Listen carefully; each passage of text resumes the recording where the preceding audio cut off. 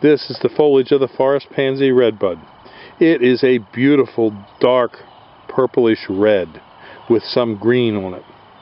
The forest pansy redbud is easy to grow and can grow in wet soils and also the clay soils that inhabit most of the areas of Bucks County.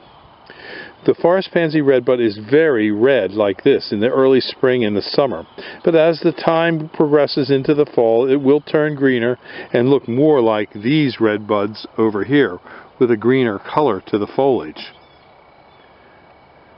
If you need a forest pansy redbud, give us a call at Highland Hill Farm on Route 313 in Fountainville, PA.